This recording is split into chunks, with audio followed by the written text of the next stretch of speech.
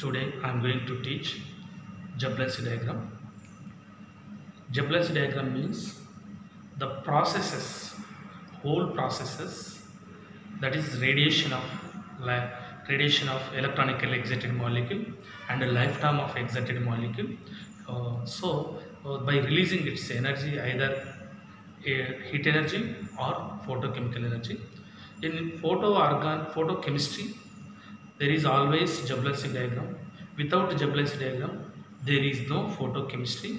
So, uh, in order to understand this Jablonski diagram, we want to know the s- some terminology that is spin multiplicity chi is equal to 2s plus 1.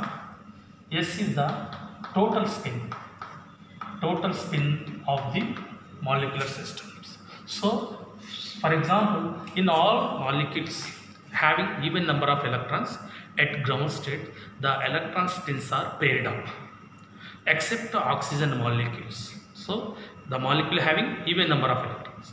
The electron spins are paired up at ground state except oxygen molecule. You remember this thing also. So, uh, if electron spins, electron spins are anti-parallel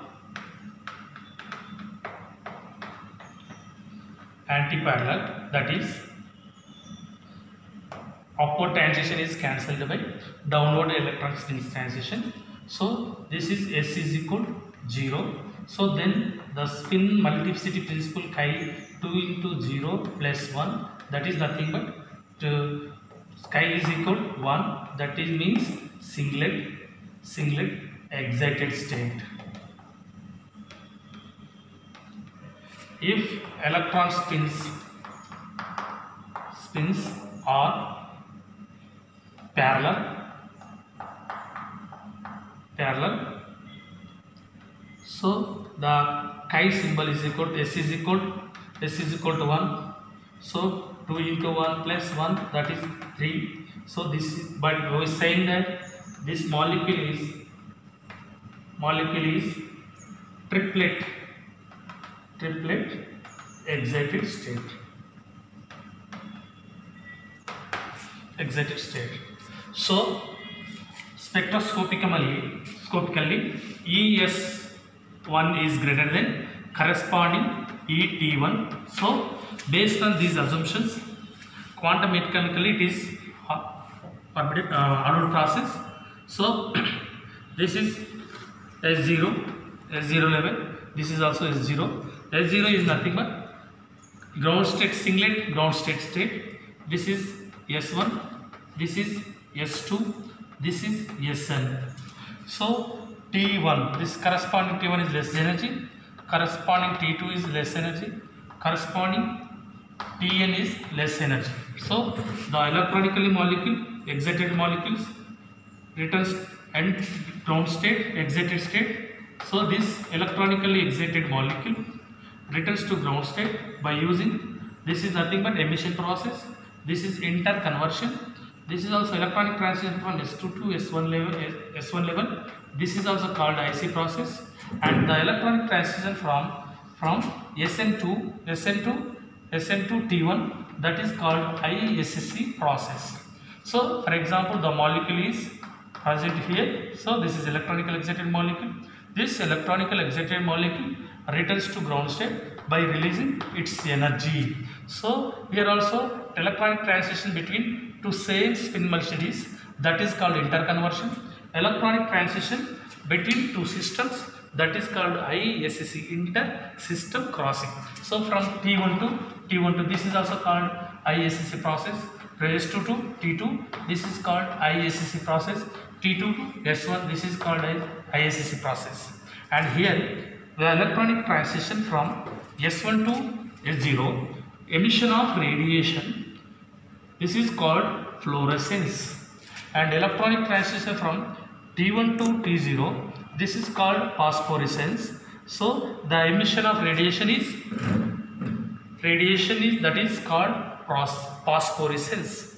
So the emission process this is the only Jablonski diagram. Jablonski diagram tells us how the electronically excited molecule returns to the ground state by dissipating its energy.